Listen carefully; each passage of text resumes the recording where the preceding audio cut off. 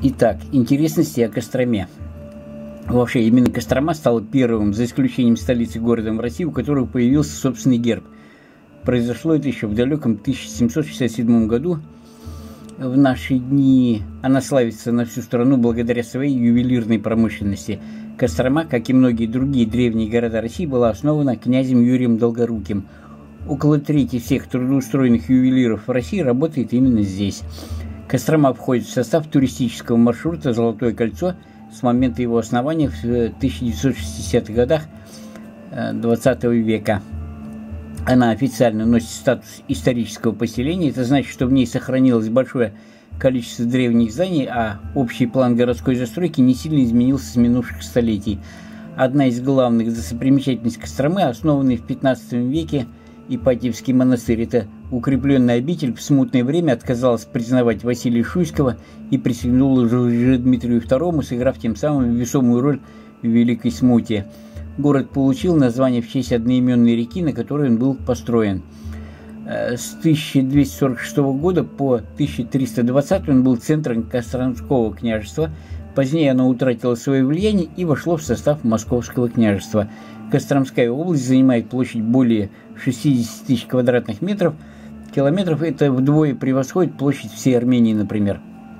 Река Кострома раньше протекала прямо по городу, но впоследствии ее русло было перенесено на 12 километров, а старое русло превратилось в ремонтные доки для речных судов – Костромской Кремль был снесен большевиками в 30-х годах прошлого века. На месте, где он стоял, поставили памятник Ленину, а кирпичи разобранного Кремля пустили на строительство льняной фабрики. На гербе Костромы изображена галера, носящая имя другого города – Тверь.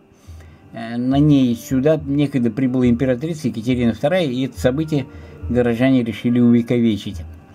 Э, во всем Центральном федеральном округе Костромская область является регионом с наименьшей численностью населения из всех. В ней проживает около 635 тысяч человек. Это, кстати, сравнимо с численностью населения всей Черногории.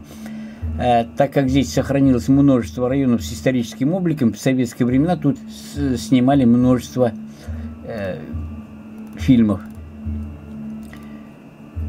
рекорд отрицательных температур в Костроме составляет минус 46,5 градусов, а положительных целых 37,5 градусов.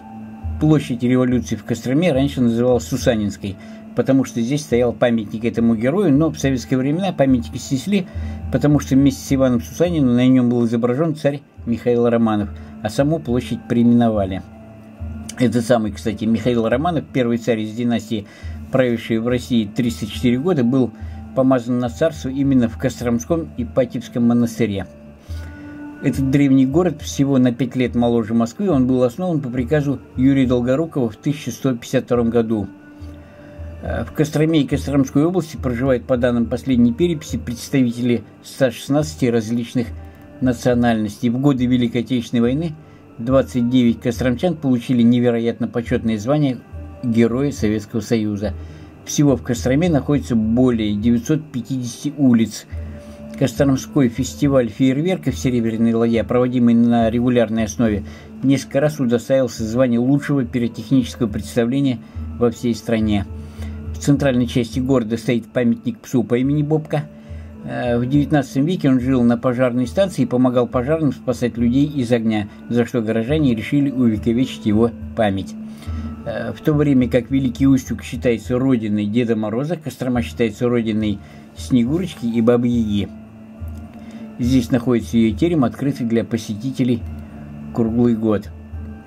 Ну, еще э, Борис Гребенщиков из группы «Аквариум» навсегда увековечил это, этот город в своем альбоме «Кострома Монамор». На этом, пожалуй, все.